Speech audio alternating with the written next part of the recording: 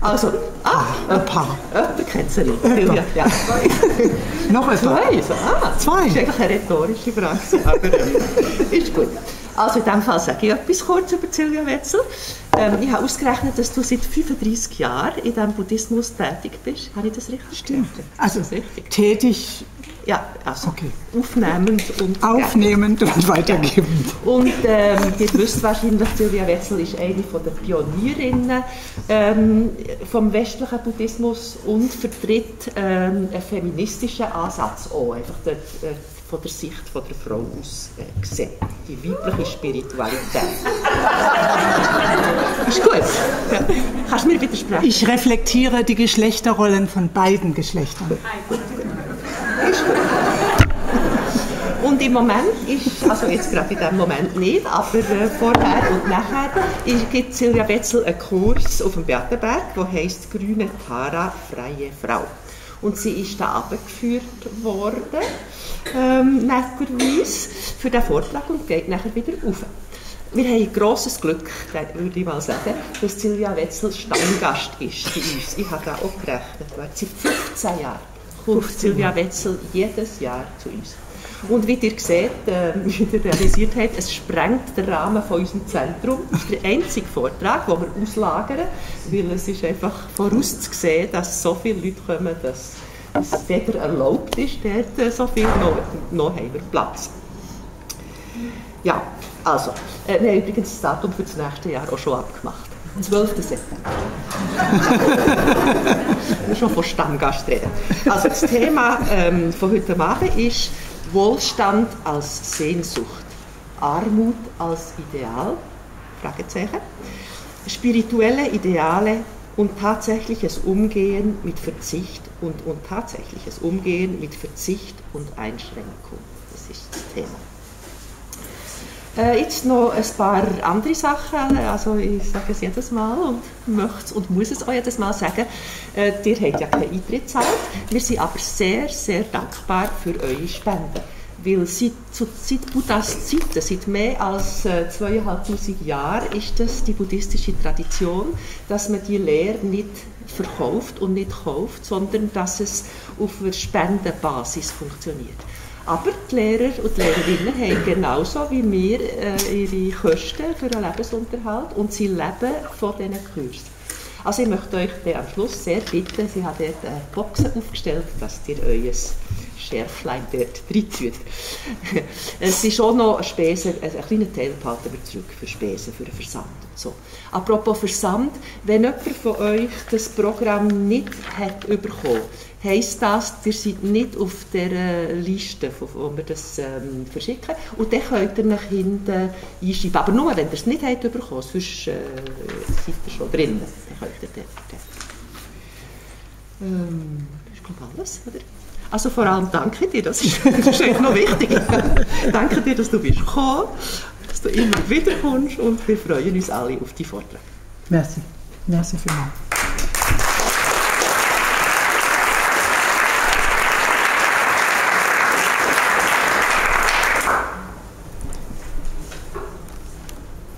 Ja, ich begrüße Sie zu diesem Vortrag. Ich verstehe zwar Schweizerdeutsch, aber ich, ich kann einfach Vorträge nicht auf Schweizerdeutsch halten. Ich kann sie nicht mal auf Badisch halten, was meine Muttersprache ist, weil ich Buddhismus auf Englisch gelernt habe und dann auf Hochdeutsch. Ist, ich rutsche einfach ins Hochdeutsche wieder rein. Jetzt bleibe ich beim Hochdeutschen. Ja, der Titel ist provokant. Wohlstand als Sehnsucht. Ich meine, das ist nicht so provokant. Wir wollen jedes Jahr mehr haben und wenn es weniger wird, sind wir sauer. Und sagen, die Gesellschaft ist ungerecht, es steigt nicht immer jedes Jahr der Lohn. Das war doch in den 70ern so schön, da ist immer alles gestiegen und besser geworden und jetzt nicht mehr. Also, dass Wohlstand eine Sehnsucht ist, ist nicht so provokant. Aber diese Armut oder Einfachheit als Ideal, ja, man hat es mehr und manche sagen, Einfachheit ist der Luxus unserer Zeit. Ich will das Thema von unterschiedlichen Perspektiven her beleuchten. Ich schiebe aber voraus, ich trage heute Abend keine Strategien vor, wie man die Armut in der Welt ganz schnell beseitigen kann. Das werde ich nicht tun. Vielleicht mal in einem Nebensatz ein paar Sachen dazu sagen.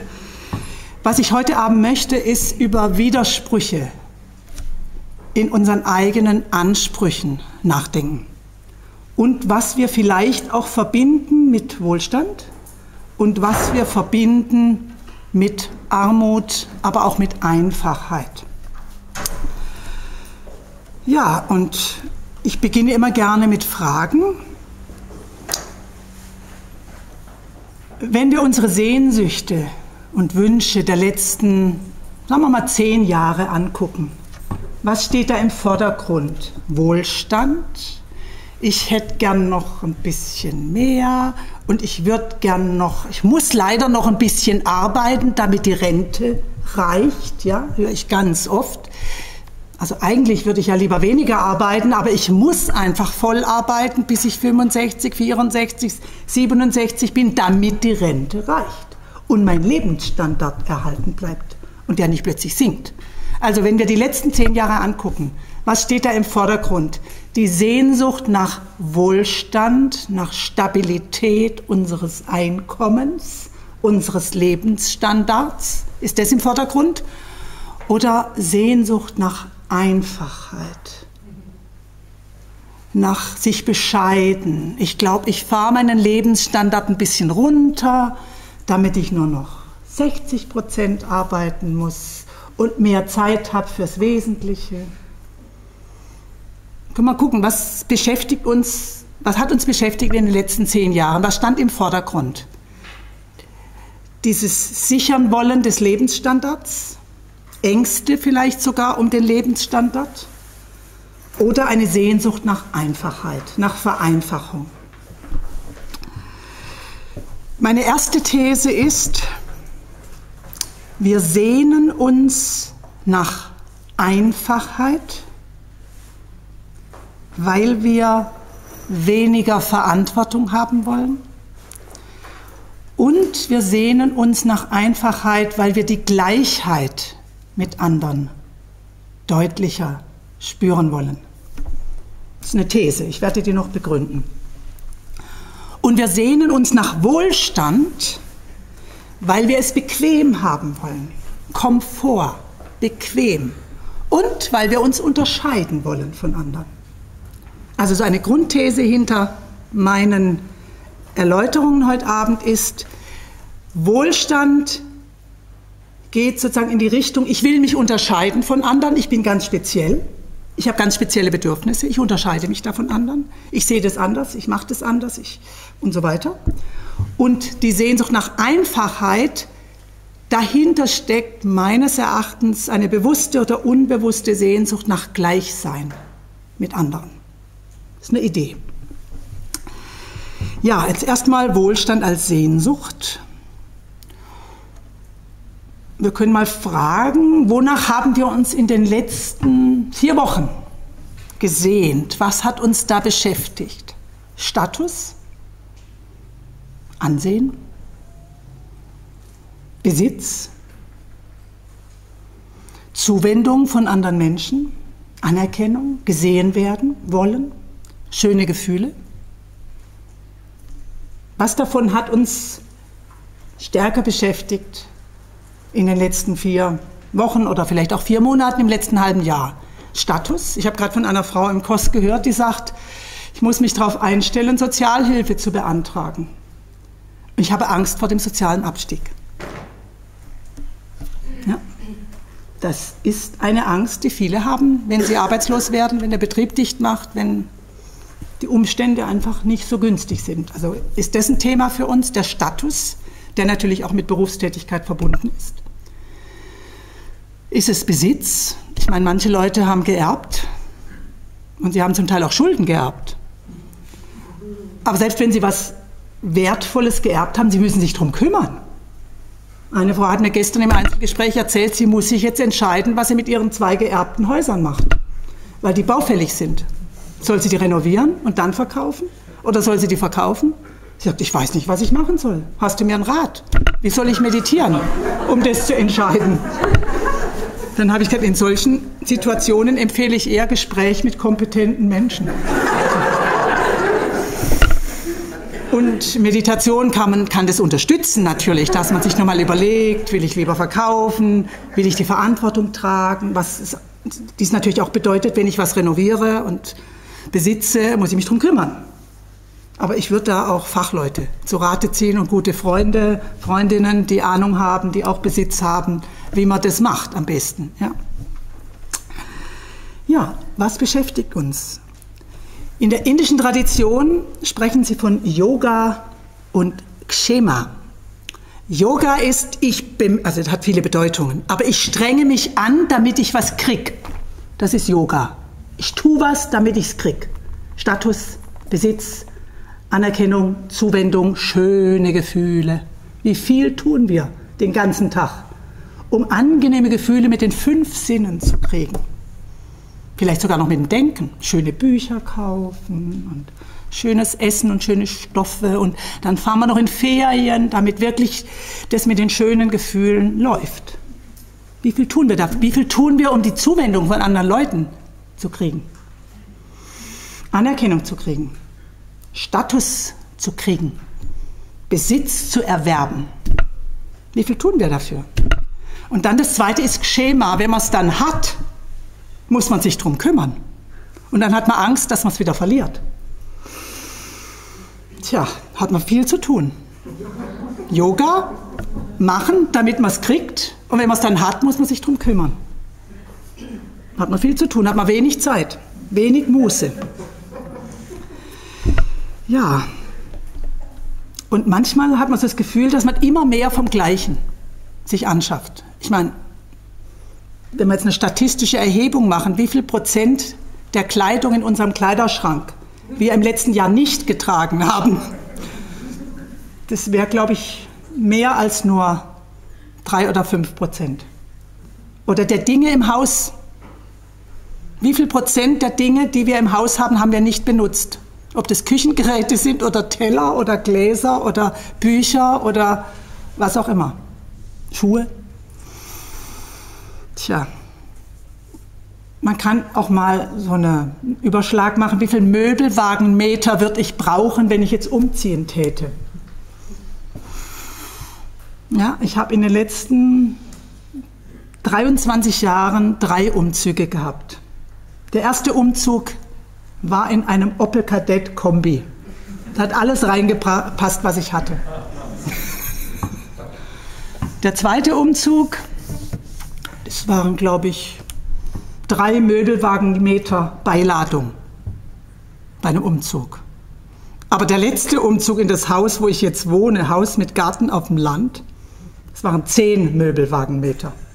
So kann man auch mal gucken, ja, mal so überlegen. Ja, Besitz, Status, Zuwendung. Ich meine, wer hier hat das Gefühl, ich kriege genug Anerkennung und Zuwendung? einfach mal statistische Erhebung. Mal, ich bitte um Handzeichen. Wer kriegt genug Zuwendung? ja, und der Rest? Ich meine, was tun wir dafür, dass wir das kriegen? Können wir uns auch mal angucken? Also die, die zufrieden sind mit der Zuwendung, wie viel tun wir dafür? Wie viele Stunden Aufmerksamkeit und so weiter, Geld geben wir aus, damit wir das kriegen? Was kostet uns das? Und die, die nicht genug Zuwendung kriegen, was tun die dafür, dass sie es kriegen? In der Hoffnung, dass es kommt. Naja, dann kommen die schönen Gefühle über die fünf Sinne und das Denken das ist ja schön. Wir haben ja schöne Gefühle. Wir erleben das ja, wenn wir schöne Sachen essen, schöne Stoffe kaufen, in die Sonne gehen und so weiter, schöne Klänge hören. Aber wie lang dauert es immer an mit den schönen Gefühlen? Man, das ist das Problem mit den Sinnesfreuden, die sind nicht sehr dauerhaft. Die sind kurzlebig und da braucht man immer Nachschub. Und wenn man nicht sehr wenn man kein Maß hält mit den Sinnesfreuden, braucht man eine immer höhere Dosis. Wenn man Maß hält mit den Sinnesfreuden, dann können wenige Freuden oder wenige Genüsse große Freude schenken. Wenn man nicht Maß hält damit, wenn man ja, sich überschüttet mit Sinnesreizen, braucht man eine immer höhere Dosis. geht ins Geld und kostet viel Zeit.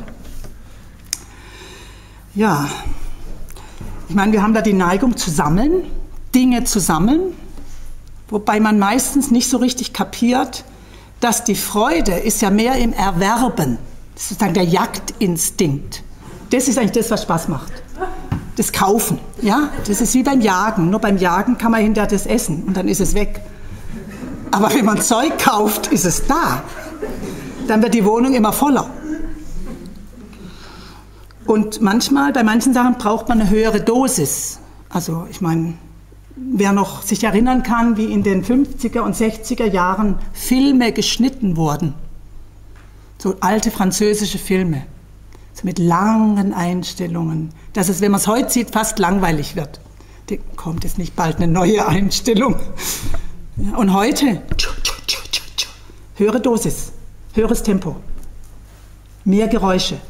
Ich meine, es gibt, ich habe, glaube ich, im letzten halben Jahr nirgendwo angerufen, wo ich in der Warteschleife hing, ohne dass mir irgendeine Musik ins Ohr dröhnte. Früher war das noch ohne Musik. Da hieß es einfach nur, wir, wir verbinden Sie gleich, bitte haben Sie Geduld. Und jetzt, boah. Ja, okay.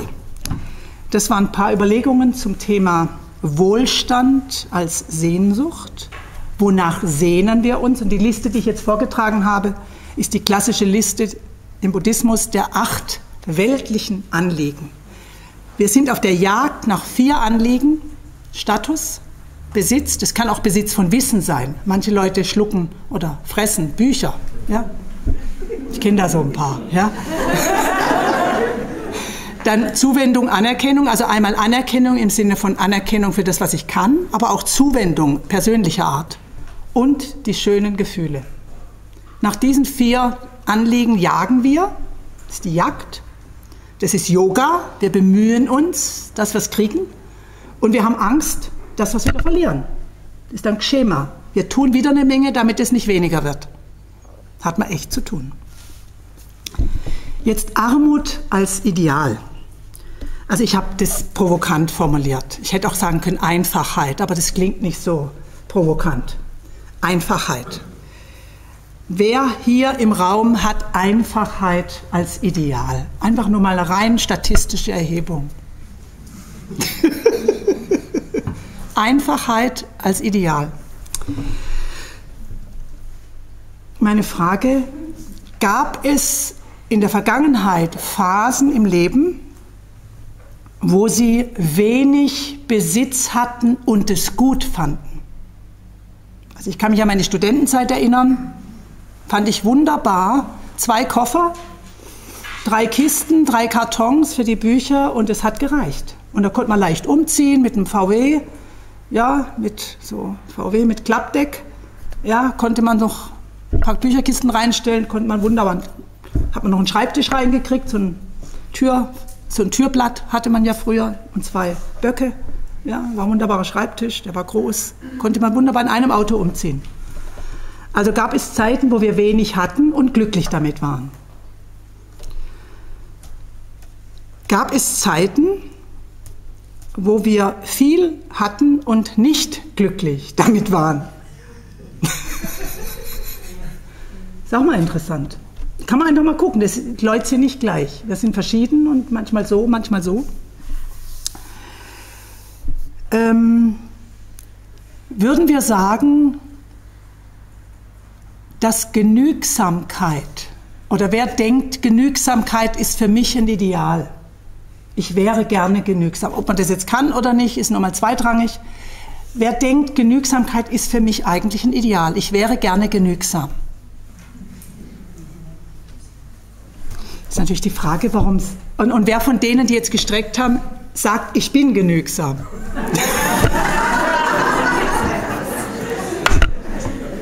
und es ist natürlich die Frage, warum sind wir nicht so genügsam, wie wir das gerne wären? Deswegen habe ich gesagt, Armut oder Einfachheit als Ideal, aber Wohlstand als Sehnsucht, ja? als Sucht ja, genügsam, ohne viel Verantwortung, nicht so abhängig von den acht weltlichen Belangen. Ich wünsche mir nicht so abhängig zu sein von Status und Besitz und Zuwendung und Anerkennung und schönen Gefühlen. Das wäre so schön, wenn ich da weniger abhängig wäre von. Da müsste ich nämlich weniger tun, um sie zu kriegen und müsste weniger tun, um sie zu sichern, wenn sie dann mal da sind. Tja, weniger Verantwortung haben, weniger abhängig sein, einfacher leben, dann ein Schlagwort unserer Zeit, lieber Qualität als Quantität. Ja? So. Ja, jetzt noch eine andere Gedanke mit der Armut. Ein großes spirituelles Vorbild unserer Kultur, Jesus Christus, hat sich explizit an die Armen gewendet. An die Armen, an die Unterdrückten. Seine erste Botschaft war nicht an die reichen Leute, wir kennen das. Eher kommt ein, geht ein Kamel durch ein Nadelöhr, als dass ein Reicher in den Himmel kommt. Und ich denke, das klingt bei vielen von uns, diese Haltung, die finden wir gut, dass sich jemand an die Armen und Unterdrückten wendet, ja, die für wertvoll erachtet. Schwingt da noch sowas mit, wer arm ist, ist auch gut? Es gibt viel Literatur also ich habe, also es gibt so Arbeiterliteratur aus den 20er Jahren. Ja, das sind die edlen, armen Leute, ja, die aufrichtig und ethisch sind und sich für die guten Sachen einsetzen und nicht so hinterlistig sind wie die Reichen. Ja, so ein bisschen gibt es ja immer wieder in der Literatur ein bisschen die Idealisierung von armen Menschen. Und ich finde es sehr interessant, da mal nachzuspüren und nachzuforschen, was da dahinter steckt. Da komme ich gleich dazu.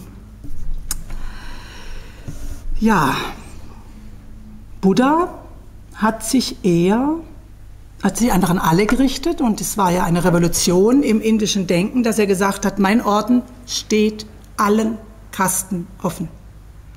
Und die Rangordnung in meinem Orden, hat der Buddha gesagt, ist nicht die Kastenordnung, sondern wenn ein Unberührbarer oder ein Shudra aus der untersten Kaste in meinen Orden eintritt und drei Tage später tritt ein Brahmane in den Orden ein, dann sitzt der, der zuerst ordiniert wurde, an der ersten Stelle. Und der Brahmane sitzt an zweiter Stelle. Also da wurde die Rangfolge nach dem Zeitpunkt des Eintritts in den Orden festgelegt und es war eine unglaubliche Provokation für die indische Gesellschaft, die ja bis heute zwar offiziell das Kastensystem abgeschafft hat, aber die denken weiterhin im, in Begriffen vom Kastensystem äh, mit den Prozenten, die bestimmte Kasten kriegen, in Zugang zur Bildung, zu bestimmten Ämtern und so weiter. Das ist heute noch so drin, das ist ganz schwer zu überschreiten, selbst für Ehen. Beziehungen. Es ist ganz schwer, über Kastengrenzen hinauszugehen, es sei denn, die sind sehr ähnlich, sozusagen im gleichen Umfeld.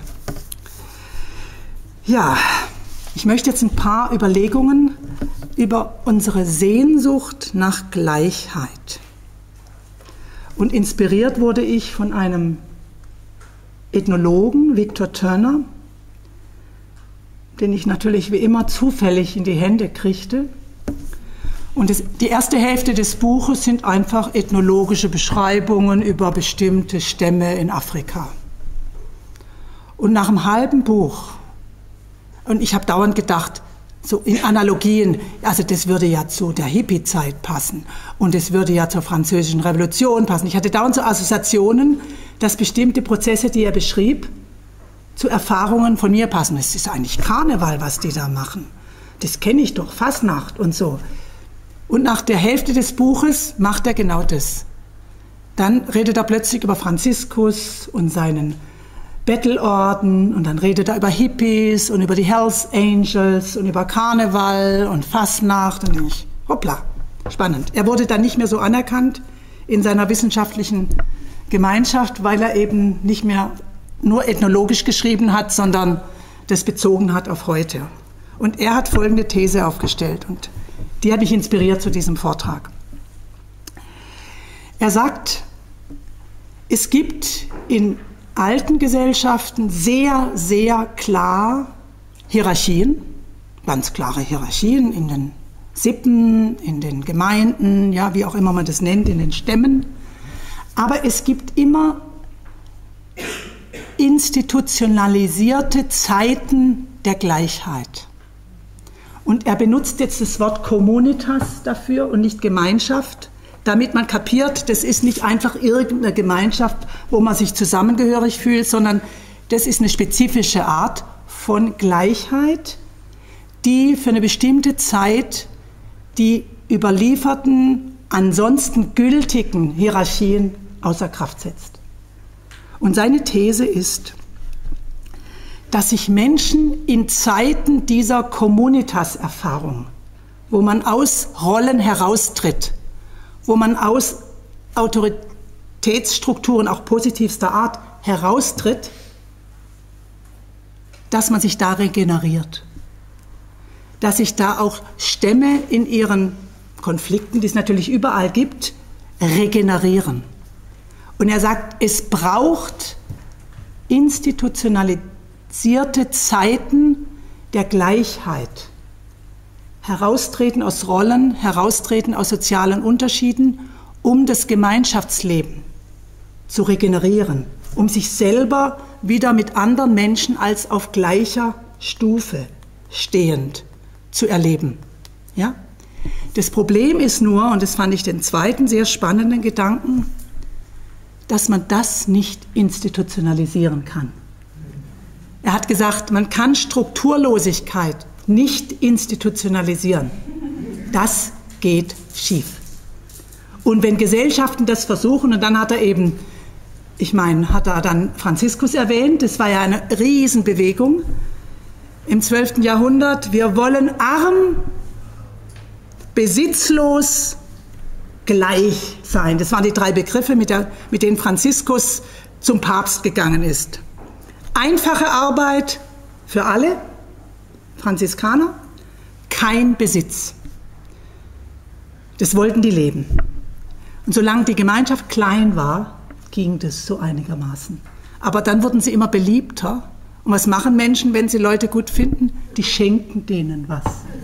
Dann wurde denen Häuser geschenkt und kleine Kapellen geschenkt. Und Mäzene haben gesagt, wir bauen euch eine Kapelle, wir bauen euch ein tolles Kloster. Und solange Franziskus noch gelebt hat, hat er gesagt, tja, also nachdem er seine Anerkennung hatte beim Papst, ja, was mache ich denn jetzt? Dann haben sie eine unglaublich gute katholische Lösung gefunden. Die Häuser gehören dem Papst. Und der Orden hat sozusagen das Besitzrecht. Also das Eigentumsrecht hat die Kirche, der Papst. Und das Besitzrecht, den Niesbrauch, haben die Klöster. Aber das hat sich keine Generation gehalten. Und dann gab es diese Auseinandersetzung zwischen den Spiritualen, die den alten Idealen von Franziskus treu bleiben wollten, arm und gleich und besitzlos, ja, und einfache Arbeit und so. Aber die anderen meinten, man soll sich halt ein bisschen in die Gesellschaft integrieren und äh, normal leben, wie die anderen auch. Und ich fand dieses, diese große Inspiration, also ich fand große Inspiration in diesem Buch, dass er immer wieder an diesen alten Gesellschaften in Afrika, aber auch an Bewegungen bei uns im Abendland, bis hin zu den Hells Angels in USA, immer wieder beschrieben hat, dass diese Sehnsucht ist da nach Gleichheit, aber man kann sie nicht institutionalisieren. Eine normale Gesellschaft braucht, um funktionieren zu können, ein gewisses Maß an Arbeitsteilung. Braucht Funktions, Funktionen, ja? Braucht natürliche Autoritäten. Ich meine, Lehrer in der Schule, ich meine, wenn jedes Kind sagt, ich bin gleich mit dir, ein bisschen schwierig, Unterricht zu machen. Sein Vorschlag war, es braucht institutionalisierte Räume, zeitlich begrenzt, wo man eine Erfahrung jenseits von Funktion, Rolle, Besitz, Status machen kann. Zur Regeneration von Gemeinschaften. Aber auf Dauer geht es nicht. Dann hat er noch eine sehr interessante Überlegung angestellt über Kloster und Karneval. Mich, ich habe beides erlebt als Kind. Ich bin im Schwarzwald groß geworden mit der alemannischen Fasnacht. Und ich fand es immer ziemlich gut, dass an Fasnacht bei uns im Schwarzwald vom ersten bis zum letzten Ball, vom ersten bis zum letzten Tanz immer Damenwahl war. Nicht zweimal am Abend mit dem Tusch, Damenwahl, nein, vom ersten bis zum letzten Ball immer Damenwahl. Also ab 16, 17, nachdem ich die Tanzstunde hinter mir hatte, fand ich das natürlich großartig. Es war einfach anders, aber es war nur Karneval so. Also wir haben Fastnacht gesagt, ja, nicht Karneval. Und Männer durften sich als Frauen verkleiden. Offiziell erlaubt. Wir haben Kaffeetantenumzüge gehabt, so im Gänsemarsch. Und Lehrer und Ärzte und Handwerker haben sich als Frauen verkleidet mit ja, mit so Jahrhundertwende Kleidung, mit den Brautkleidern ihrer Großmütter, wenn, es, wenn von der Figur her passte, mit Hüten und Handtäschchen und haben sich als Frauen verkleidet, mit den Frauen auch, die Frauen waren auch dabei. Dann haben wir Umzüge gemacht. Und es war für mich als kleines Mädchen einfach normal. Einmal im Jahr dürfen sich Männer als Frauen verkleiden und niemand, man lacht natürlich drüber, aber man lacht die nicht aus. Man sagt, tolles Kostüm. Und manche haben sich dann extra den Bart abrasiert für die Zeit. Es gab dann einen anderen Umzug, den durften nur die Männer machen. Und wenn eine Frau erwischt wurde, die da mitmachte, wurde sie kopfüber in den Dorfbrunnen reingesteckt. Aber es hat jedes Jahr ein paar Frauen geschafft, da bei dem Umzug mitzumachen, als Männer verkleidet. Also waren die Rechte nicht so ganz gleich, aber und der Bürgermeister hat natürlich den, den Schlüssel des Rathauses dem Narrenvater übergeben. Es war klar, die Herrschaft in diesen Fasnachtszeiten hatten die Narren. War gut. Und es fand, ich meine, und Herr Turner hat dann gemeint, das Modell Karneval ist die Erlösung von festgefahrenen Rollen, Status, Funktion für das Gros der Bevölkerung, also sozusagen für die Massen. Ja? Die dürfen dann mal über die Stränge schlagen oder man darf Königin spielen und ich habe dann Cowboy gespielt oder was auch immer. Ja, man durfte andere Rollen einnehmen für ein paar Tage. Und das natürlich auch hat auch eine Ventilfunktion für soziale Spannungen, das ist klar. Man hat im Schwarzwald versucht, im Zuge der Reformation den Karneval zu verbieten, die Fasnacht zu verbieten, aber es hat einfach nicht funktioniert. Hat nicht geklappt. Es wurde zwar versucht, aber es hat nicht geklappt. Die Leute wollten das. Und bei uns im Ort war das so, wenn ein neuer Kaplan kam, oder wie heißt das, Vikar, ein neuer Vikar kam und der sagte, also das mit der Fasnacht, also das ist ein bisschen aus dem Ruder gelaufen hier. Der konnte nach einem halben Jahr wieder gehen. Also wenn der nicht akzeptiert hat, dass Fasnacht das, der höchste Feiertag im Jahr war, konnte der seinen Abschied wieder nehmen. Der hat keinen Fuß auf den Boden gekriegt bei uns. Fand ich gut. Jetzt hat er Überlegungen angestellt über das Kloster. Ich meine, viele von uns interessieren sich für den buddhistischen Weg und Meditation und Retreat. So, ich meine, Buddha Speak heißt es Retreat oder Retreat. Ja? Früher hat man Exerzitien gesagt im katholischen Kontext. Das sind Exerzitien im Prinzip. Also Kloster auf Zeit heißt es heutzutage. Er meinte, dass das Modell Kloster eine Erlösung von Rollen für diejenigen ist, die Verantwortung tragen und Besitz haben, für die Wohlhabenden. Ja, dass die mal raus können aus ihren Verantwortungen, aus dem, äh, ja, aus dem Betrieb, aus äh, ihrer Funktion in einer größeren Einrichtung, aus ihrer Rolle als äh, Lehrerinnen und Psychotherapeuten und so weiter. Fand ich interessant. Kloster als Freiraum für Leute, die viel Verantwortung tragen, als Befreiung von ihren sozialen Pflichten.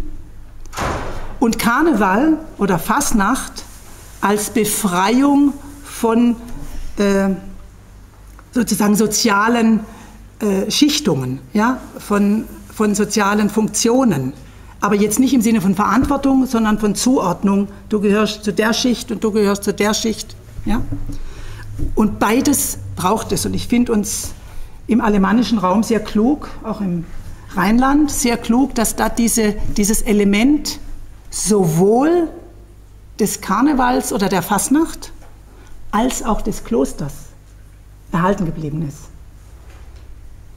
Das heißt, es bietet Möglichkeiten, diese Sehnsucht nach Einfachheit, jetzt im Kloster, nach Freisein von Rollen, nach Freisein von Aufgaben, nach Freisein von Funktionen und ein Erlebnis von Gleichheit. Also im Kloster ist ja so, dass man einfache Kleidung trägt.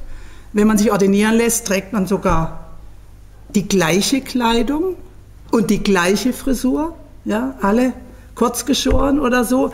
Also man versucht die Gleichheit auch zu dokumentieren im äußeren Habit, ja. Das ist jetzt bei Kloster auf Zeit nicht so der Fall, aber manchmal in Zen-Klöstern gibt es dann Anweisungen, dass man dunkle Kleidung trägt. Zum Beispiel im Kurs. Ja, man soll am besten schwarze Kleidung tragen, damit alle gleich aussehen im Kurs. Und kein Schmuck, also strenge Zen-Kurse habe ich erlebt, Uhren abgeben, kein Schmuck tragen und bei ganz strengen Zen-Kursen sollen sich die Männer nicht rasieren in der Zeit, wo sie da sind. Ja, dass man keinen überflüssigen Luxus treibt und die Frauen sollen sich nicht schminken. Ne? Und dann ist man natürlich gleich. Auf eine ganz schlichte, menschliche, körperliche Art und Weise. Sehr spannend. Ja, jetzt, das war ein paar Überlegungen zu diesen Sehnsüchten, die wir ja offensichtlich haben, sonst gäbe es diese Einrichtungen nicht. Wenn alle Leute Karneval und Fastnacht blöd fänden, dann gäbe es nicht mehr. Es wird ja gegen Widerstände, also selbst in modernen Zeiten. Ich denke, die Basler Fasnacht gibt es immer noch. Die alemannische Fasnacht gibt es auch weiterhin und Kloster auf Zeit nimmt zu. Also selbst in evangelischen Kontexten, habe ich gehört, gibt es inzwischen Kloster auf Zeit, wo es eigentlich kein Kloster gibt. Ja, aber, aber irgend so was ähnliches. Ja, jetzt ist die Frage, wie gehen wir um heute, so wie wir heute hier sind, mit dem Wohlstand, den wir haben, mit unserer Sehnsucht nach Sicherheit, nach Erhalten des Lebensstandards, diese eine Seite des Widerspruchs, und dieser Sehnsucht nach Einfachheit. Was machen wir damit? Oder wie können wir damit umgehen, um diesen Widerspruch ein bisschen zu lockern, vielleicht sogar punktuell auflösen zu können? Die Buddhisten schlagen vor, dass man zum Beispiel über diese acht weltlichen Belange mal nachdenkt. Wie viel Glück bringt mir eigentlich meine Jagd nach Status, Besitz, Anerkennung, Zuwendung und schönen Gefühlen? Also wenn ich jetzt mal das zeitlich ein bisschen betrachte, wie viele Stunden meiner Zeit wende ich auf für welchen, für welches dieser Anliegen. Und was kommt unterm Strich bei raus? Macht mich das glücklich, wenn ich mehr Status habe, mehr Besitz habe, mehr Anerkennung kriege, mehr Zuwendung, mehr schöne Gefühle, die halt nicht sehr langlebig sind? Ja? Also wir sind auch wieder verschieden und für manche ist der Status wichtiger als der Besitz und für manche ist der Besitz wichtiger als der Status. Und ich mache jetzt keine Aussagen über Frauen und Männer, aber ich habe den Eindruck, dass manche ziehen Status und Besitz vor und manche ziehen Zuwendung und schöne Gefühle vor. So können wir ja alle selber gucken, was für uns da relevant ist, nicht? Muss man selber gucken. Ähm, die Idee ist, wenn man darüber mal wirklich nachdenkt, wenn man das mal überprüft, wie viel Zeit gebe ich hin, um diese vier Anliegen zu bekommen oder zu erfüllen und sie zu schützen, wenn ich sie dann habe.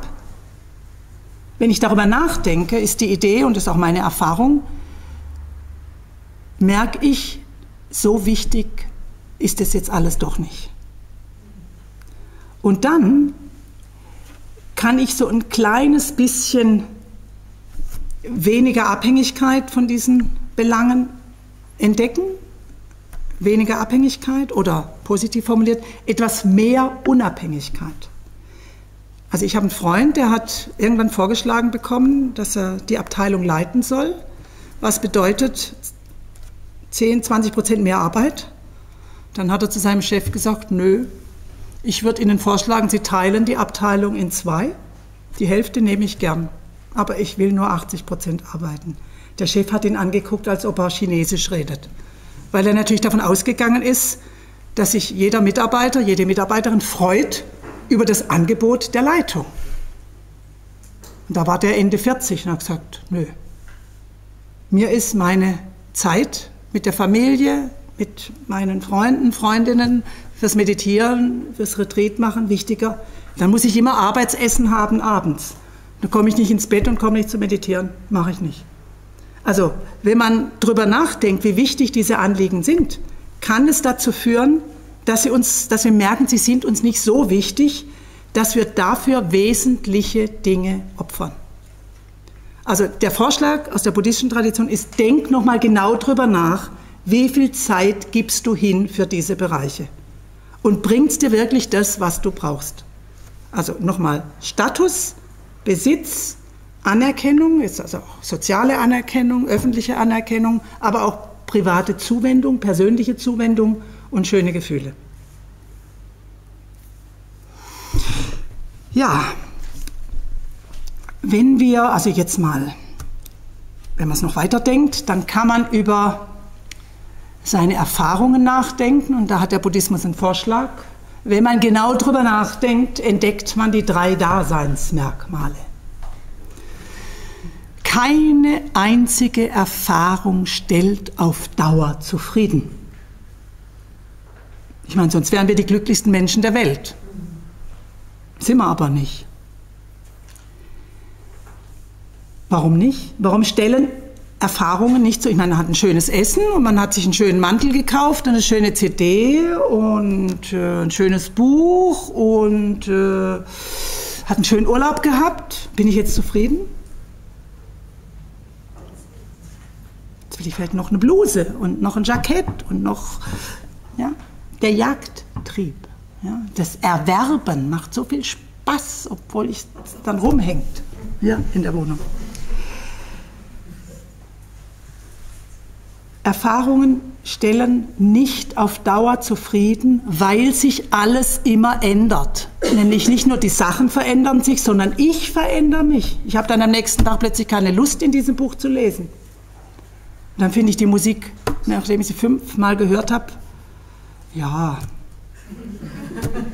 die ist schon nett. So. Und das Jackett, ich meine, das war so toll, als ich es gekauft habe. Aber eigentlich passt es nur zu einer Hose. Und die trage ich nicht gern. die ist mir zu eng. Ja, oder zu weit natürlich, kann auch vorkommen. Also alles verändert sich. Meine Ansprüche verändern sich, meine Vorstellungen verändern sich, ja, meine Vorlieben, die Moden verändern sich und so weiter. Nichts stellt auf Dauer zufrieden, keine einzige Erfahrung, weil sich alles immer verändert. Und jetzt können wir natürlich versuchen, mit viel Strategien und viel Fortbildungen unser Leben in den Griff zu kriegen. Ja? Organisation des Alltags leicht gemacht. Ja? Äh, simplify your life. Ja, vereinfache dein Leben. Entrümpeln. Und so Zeug. Man kriegt es nicht in den Griff. Denn das Leben ist zu komplex. Man denkt zwar manchmal sehr linear und äh, schlicht und denkt, wenn eins, zwei, drei besser funktionieren täte im Leben, dann wäre ich glücklich. Aber inzwischen sind wir, glaube ich, alle alt genug, um gemerkt zu haben, dass es nicht an eins, zwei, drei liegt. Und die buddhistische These ist, Leben ist sehr komplex. Nicht linear, kausal, erfassbar mit klaren Prognosen. Und, sondern mindestens so komplex, wie die Quantenphysik beschreibt. Und da habe ich ein schönes Konzept gelernt. Ich liebe Konzepte, die einfach den Blick nochmal in eine andere Richtung lenken. Es gibt ein wunderbares Buch von Hans-Peter Dürr herausgegeben, von dem Quantenphysiker, Physik und Transzendenz. Da hat er die ganzen Nobelpreisträger der Physik sozusagen zitiert, was die über Transzendenz sagen, was die über das, was man nicht fassen kann, sagen. Und da ist einer, ein Aufsatz drin von Pauli, von dem Physiker, der spricht über komplexe Kausalität und lineare Kausalität. Die lineare Kausalität ist alltagstauglich. Was ist die Ursache des Lichts in diesem Raum? Ich drücke auf den Lichtschalter. Das reicht meistens. Ja? Also wenn, wenn nichts Kompliziertes passiert, also wenn nicht die Sicherung aus, durchgebrannt ist, wenn die Birne nicht kaputt ist, wenn äh, kein Wackelkontakt ist, wenn das E-Werk nicht gerade einen Streik hat und so weiter, dann funktioniert es. Das ist lineare Kausalität und da kann man Voraussagen machen, Prognosen. Und wissenschaftliche Ansprüche sind ja, ich mache ein Experiment und kann es an jedem Ort dieser Welt unter den gleichen Bedingungen nachvollziehen. Da kann ich klare Prognosen machen und diese Art von Kausalität ist sehr beliebt, weil man klare Prognosen machen kann. Wenn A, dann B. Jetzt ist es aber keine tiefe Wahrheit, sondern das ist sozusagen eine Oberflächenwahrheit, die, wenn gerade keine großen Störungen ablaufen, funktioniert die. Aber eigentlich ist das Leben komplex. Also eigentlich werden wir bestimmt von komplexer Kausalität. Und bei komplexer Kausalität kann man keine Voraussagen für die individuellen Phänomene machen. Weder für die Atome, noch für einzelne Menschen, noch für Menschen in einer Gemeinde. Ich meine, wenn man diese Statistiken liest, die Frauen in der Schweiz gebären im Schnitt 1, wie viel sind es hier? 7, 8, 9 Kinder. Deutschland ist ungefähr gleich. Da kann man nur statistische Aussagen machen bei komplexer Kausalität. Man kann nicht sagen, also diese Frau, naja, gebiert 1,9 Kinder, das geht sowieso nicht. Ja? Also man kann keine Voraussagen machen, wer diese Kinder kriegt. Man kann nur statistische Voraussagen machen. Oder wenn man es auf Meditation bezieht, regelmäßiges Meditieren führt dazu, dass man sich mehr entspannen kann und dass man achtsamer wird. Jetzt mache ich 27 Meditationen. Ich kann keine Prognose machen für den Einzelfall. Ich kann nicht sagen, also die erste Meditation so, die zweite Meditation so, linear, kausal entwickelt sich das immer weiter. Funktioniert nicht. Aber man kann sagen, statistisch, also in 10% der Fälle führt regelmäßiges Meditieren zu mehr Achtsamkeit und Sammlung. Verstehen Sie das Prinzip? Und Leben ist komplex. Wir kriegen es nicht in den Griff. Und der Buddha hat dafür den Begriff bedingtes Entstehen gewählt. Jetzt hat Pauli freundlicherweise in seinem Aufsatz geschrieben, leider kapieren die meisten Physiker nicht, was wir da herausgefunden haben. Sie glauben weiterhin an die lineare Kausalität, obwohl es sehr häufig um Dinge geht, wo nur die komplexe Kausalität zutrifft. Und ich habe das Gefühl, im Buddhismus glauben sehr viele Leute an lineare Kausalität und nicht, verstehe nicht, dass Leben komplex ist. Also es gibt in der tibetischen Tradition sehr lustige Karma-Erklärungen.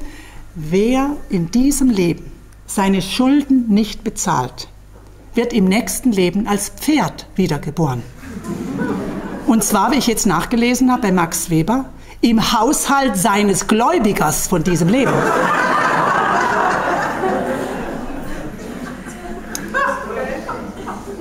Das ist für mich eine unzulässige Übertragung linearer Kausalität auf komplexe Kausalität. Hat manchmal einen pädagogischen Wert. Und wenn es uns dazu motiviert, ethisch zu handeln, nichts dagegen zu sagen, wenn wir durch diese Geschichte motiviert werden, unsere Schulden zu bezahlen, wunderbar. Aber es ist komplexer. Und die Idee im Buddhismus ist jetzt, wenn man ein bisschen darüber nachdenkt, dass das Leben komplex ist, dann glaubt man nicht mehr, wenn ich A mache, kommt B raus. Auch in Bezug auf Status, Besitz, Zuwendung, Anerkennung und schöne Gefühle. Man wird entspannter. Man tut sein Bestes und hält aber nicht an seinen Plänen fest.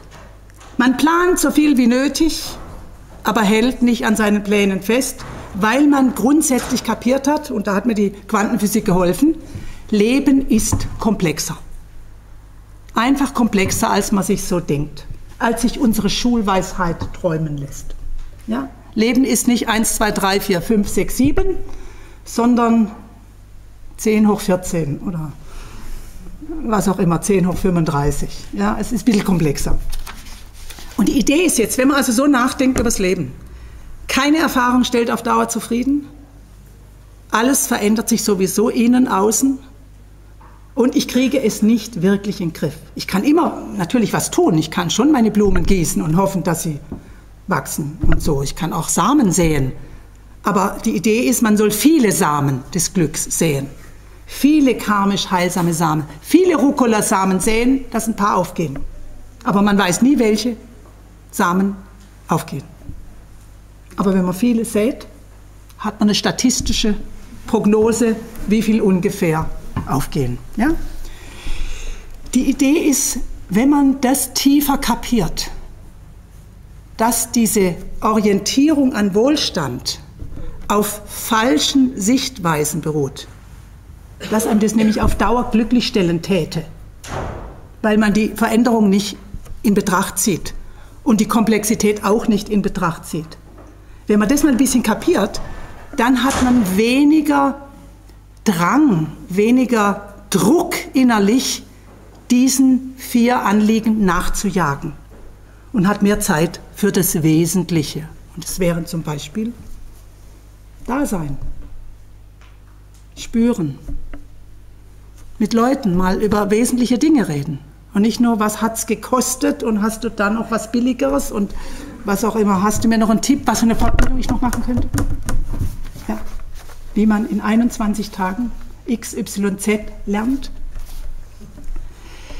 Ja, wir können, ich meine, kleine politische Überlegung, eigentlich ist uns allen klar, dass der Lebensstandard, den wir jetzt haben, auf Dauer nicht zu halten ist. Es ist eigentlich ist uns das klar. Aber die Soziologie lehrt uns, Veränderungen des Lebensstandards nach der Pubertät sind extrem schwer zu verarbeiten. Also die, die in, den, in der Nachkriegszeit in Deutschland groß geworden sind, ich habe als Kind sehr einfach gelebt. Wenn das Leben sich verändert, macht mir das nicht so viel aus. Ich habe natürlich schon gern Zentralheizung und eine Badewanne und einen bestimmten Lebensstandard, aber wenn es nicht ist, ich habe bis 40 in 12 Quadratmeter Zimmer gewohnt in einem Zentrum.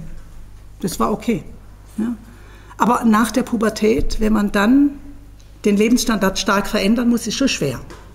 Aber es ist leichter, wenn viele um einen herum das auch erleben. Also wenn das viele von uns trifft, wird es wahrscheinlich leichter sein, den Lebensstandard zu verändern. Aber wir können das sozusagen zeitweilig ausprobieren. Ich finde die Idee der Fastenzeit, das hat meine Mutter noch gemacht, die hat sehr stark geraucht, aber in der Fastenzeit hat sie dann sechs Wochen nicht geraucht. Hat mir irgendwie imponiert. Und ich kannte eine ganze Reihe Leute, die in der Fastenzeit kein Alkohol getrunken haben. Einfach mal sechs Wochen lang. Und so Sachen kann man einfach mal ausprobieren, ob man eine bestimmte Zeit, mal eine Woche lang, abends nichts isst. Das ist auch so eine Klosterregel in bestimmten buddhistischen Traditionen. Das ist eine interessante Erfahrung einfach das mal zu erleben, wie das ist. Ich denke, viele von uns kaufen auch Secondhand-Kleidung. Kann man machen. Das ist auch schon eine Art, anders mit seinem Lebensstandard umzugehen. Und ich meine, ich habe mal in Frankfurt gelebt, da gab es einen Ladies Secondhand mit Markenklamotten. Secondhand.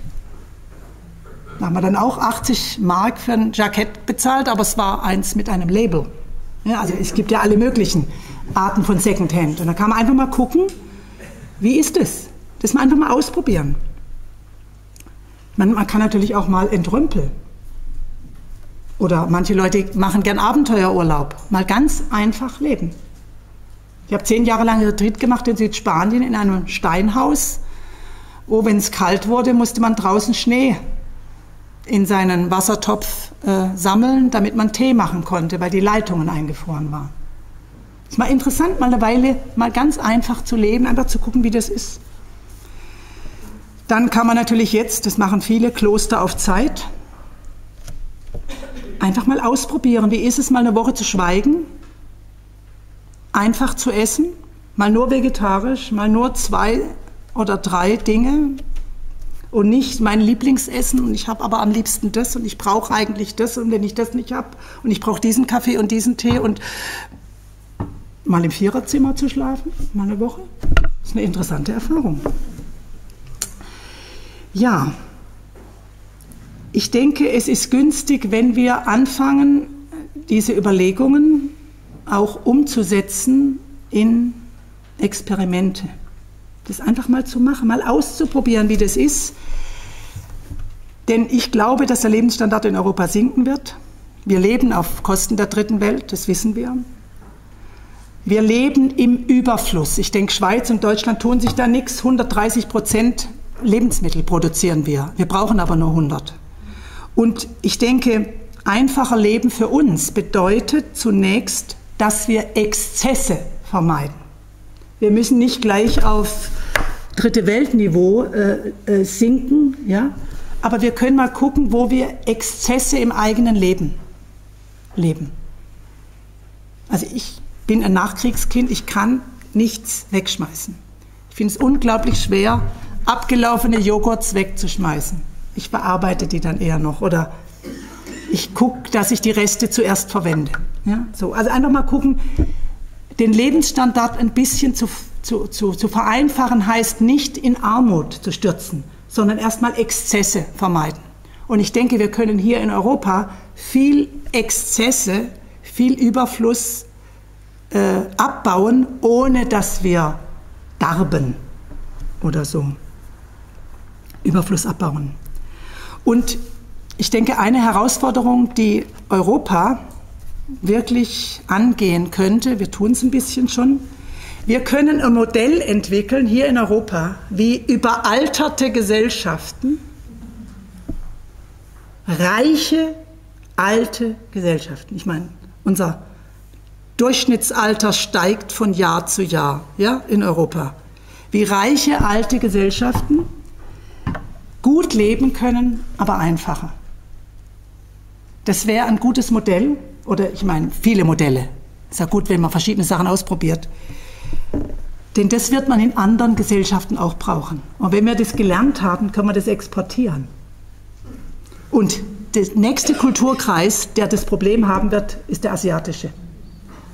Wo sie eben Geburten, äh, Kontrolle, wie auch immer, Familienplanung eingeführt haben und China altert in einem rasanten Tempo. Ein-Kind-Politik, ich meine, da halten sie sich nicht alle dran, solange sie Mädchen haben. Ja, irgendwann muss es halt einen Jungen geben, aber die werden bald ein Problem kriegen. Ja, ich meine, die klassische chinesische Familie heutzutage besteht aus zwei, vier, sechs, sieben Personen, vier Großeltern, zwei Eltern und einem Kind. Ja.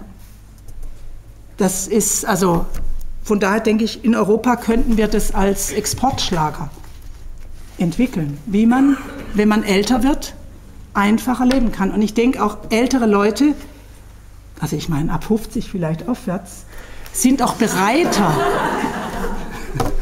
sind auch bereiter vielleicht einfacher zu leben, weil sie schon mehr kapiert haben von diesen drei Daseinsmerkmalen, von der Flüchtigkeit von Erfahrungen und mehr schätzen, was Zeit haben bedeutet. Zeit für Beziehungen haben bedeutet.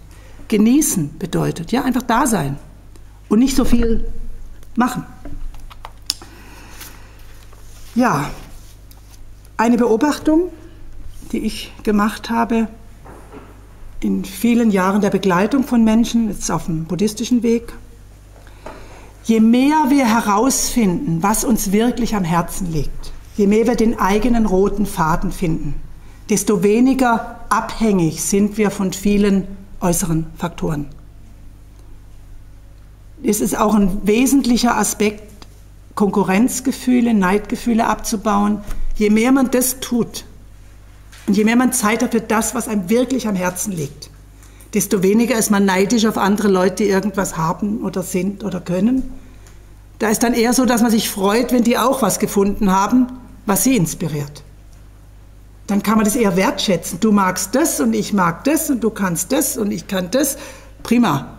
Dann freut man sich, dass andere Leute was gefunden haben. Aber wenn man das eigene noch nicht gefunden hat, dann lebt man das Leben der anderen und wird neidisch. Und ich denke, das soll jetzt meine letzte Bemerkung heute Abend im Vortrag sein, dass das ein wesentlicher Faktor dieses übertriebenen Festhaltens an Besitz, Status, Anerkennung, Zuwendung und schönen Gefühlen ist, dass wir verloren haben, vergessen haben, was uns wirklich am Herzen liegt.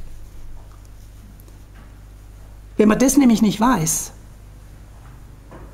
dann ist ja klar, dann greift man halt nach dem, was man sehen, hören, riechen, schmecken kann, was man fassen kann. Und von daher halte ich, also wenn man Meditationspraxis, kontemplative Praxis, spirituelle Praxis, ähm, auch natürlicher Leben, wenn man das so betrachtet, ist es ein großer Beitrag zur Vereinfachung des Lebens ein großer Beitrag dazu, dass man mehr herausfindet, was einem wirklich am Herzen liegt.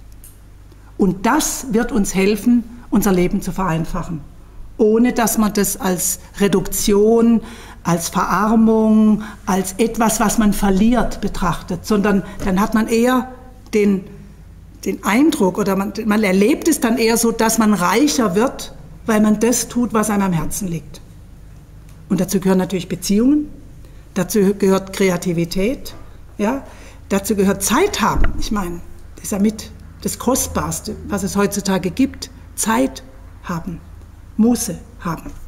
Und ich glaube auch, wenn man mehr Muße hat, ist auch ein anderes Lieblingsthema, dann hat man den Raum, sein Leben zu reflektieren. Ohne Muße unter Strom, wenn wir unter Strom stehen, ja, wenn wir körperlich und emotional unter Druck stehen, wir können nicht mal über unser Leben nachdenken, weil wir uns nur in alten Gleisen be bewegen, in, in bekannten Vorstellungen. Und wenn man mehr Muße hat, wenn man mehr Zeit hat, wenn man ein bisschen mehr Gelassenheit hat, weil man nicht so viel Zeug braucht,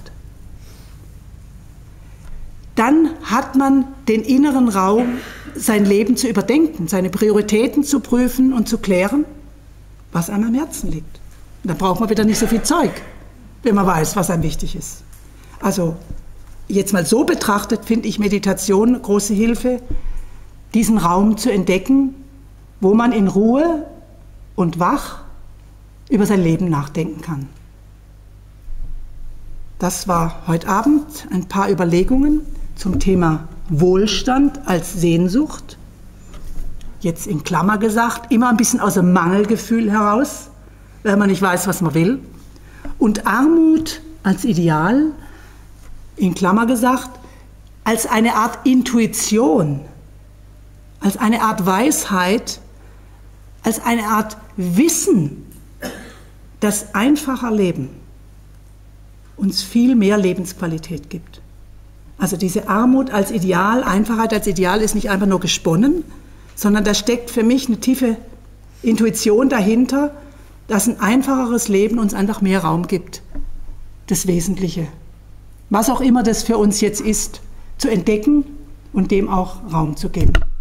Alleine, aber auch mit anderen zusammen, was dann auch eine andere Qualität der Beziehungen ermöglicht. Ich möchte an dem Punkt den Vortrag beenden und Ihnen vorschlagen, dass Sie sich zehn Minuten mit einer Person unterhalten, die Sie nicht kennen. Weil die Person, die Sie kennen, mit denen können Sie sowieso hinterher nochmal reden. Ja?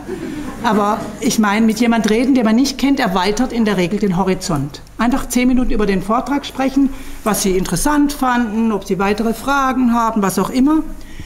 Nach diesen zehn Minuten werde ich mich bemerkbar machen mit einem lauten Gong. Dann werde ich eine kleine Übung anleiten zu dem Thema, zu einzelnen Aspekten des Vortrags als Vorschlag, wie man über diese Themen meditativ nachdenken kann. Und danach ist noch Zeit für Fragen. Ich danke Ihnen. Sodele, Sie dürfen aufstehen, rumlaufen, Fenster aufmachen, lüften. Und du darfst dein Video abstellen.